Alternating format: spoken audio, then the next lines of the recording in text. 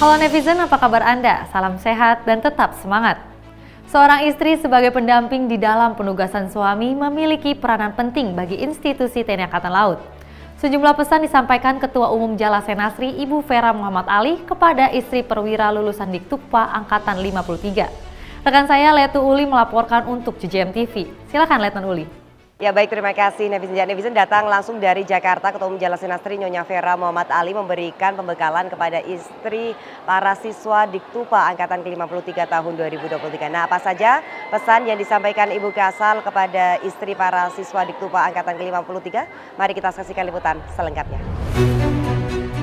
Kedatangan Ketua Umum Jala Senastri Nyonya Vera Muhammad Ali di Bumi Moro kali ini tidak seperti kedatangan pada umumnya. Melainkan kedatangan khusus untuk bertatap muka dengan para istri siswa Diktupa Angkatan ke-53 tahun 2023. Yang pada esok hari akan dilantik menjadi seorang perwira. Peran para istri tentunya berpengaruh besar untuk tugas suami. Selain sebagai istri pendamping suami, sebagai ibu bagi anak maupun sebagai anggota Jala Senastri tentunya harus pintar pintar dan bijak dalam membagi waktu dan bisa menjadi penyejuk dalam pelaksanaan tugas. Menjalankan kehidupan sehari-hari dengan penuh kesederhanaan sesuai dengan strata dan kemampuan kita masing-masing. Selalu menjadi istri yang bersyukur di mana suami bertugas, selalu mensyukuri apa yang kita dapat. Menekankan untuk selalu bijak dalam menggunakan media sosial. Ini merupakan pesan dari Ibu Kasol untuk istri para siswa Diktupa Angkatan ke-53 ini. Pada kesempatan ini juga, Ketua Umum Jalan Senastri Nyonya Vera Muhammad Ali juga memperkenalkan ibu Wakasal yang baru, yaitu Ibu Kathy Erwin S. Aldi Dharma.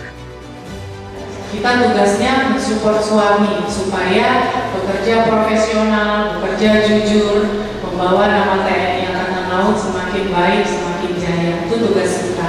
Selain peran kita sebagai istri dan ibu.